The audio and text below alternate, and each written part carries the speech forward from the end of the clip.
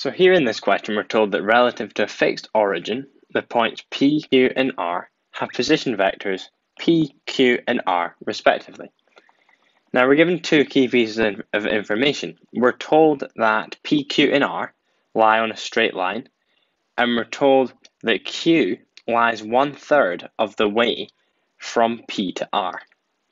So what we're asked to do here, we're asked to show that the position vector q is equal to 1 over 3 lots of r plus 2p. And this question is for 3 marks.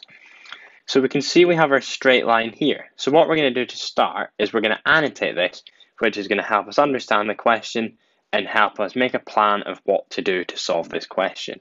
So we know that PQ and R line is a straight line. So we can first put in P and R. So we know that this is going to be P here. So that's P. And then if we let this point in the line here be R. So that's P and R. And then we're told that Q lies one third of the way from P to R.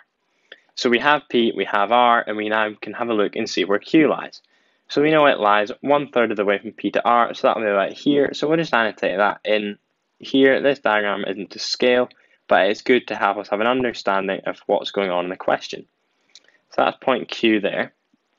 And what we're going to do is we can say that the vector QR, so we'll write down here, the vector QR, so like this, what's it going to be equal to? Well, it is going to be equal to two thirds of the vector PR, because we know that QR is to here, and then this lies one third of the way along from P, so therefore QR is equal to two thirds of the vector PR. And then our knowledge of position vectors, we can say that this is going to be equal to, so the vector QR, how do we work that out? It is going to be the position vector R minus the position vector Q, and that's going to be equal to two thirds of the vector PR, and that in terms of position vectors is going to be the position vector r minus the position vector p. So now what we're going to do is we're going to rearrange this and solve for the position vector q as this is what the question asks us to do. So what we'll do is we'll multiply our brackets on the right hand side and we'll therefore have that r minus q is going to be equal to 2 thirds of r. Then we're going to subtract 2 thirds of p. So remember, we want to rearrange for Q, so we'll just highlight this here, and how are we going to do this?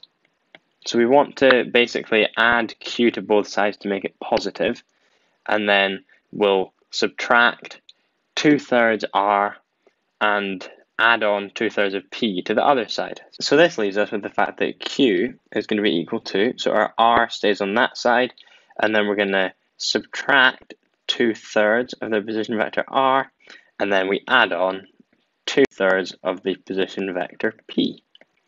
So then tidying this up, what can we do? So we have two r terms here, so we'll have 1 minus 2 over 3, which is equal to 1 over 3. So we have 1 over 3 lots of r, and then we're going to add on 2 thirds of p. And looking back at the question, we take out a common factor of a third, and we see that we're nearly there, and if we take out a common factor of a third here, that is going to leave us with the required answer, so therefore, we have that Q is going to be equal to, so we have 1 over 3, and then we know that's going to leave us with R. And then to get from 1 over 3 to 2 over 3, we multiply by 2. So therefore, we add on 2 lots of the position vector P.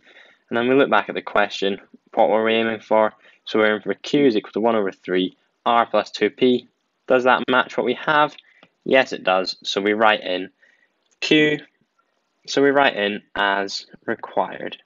So this question, like I said, was worth three marks. We receive our first mark for attempting the relevant vector by subtracting either way around. So we receive our first mark at this point here, and we then receive our second mark for having it in the form where we expand the brackets and begin to rearrange, and we then receive our third and final mark for concluding with the correct answer. And that was that Q was equal to one third lots of R plus 2P, and that was the answer which we required.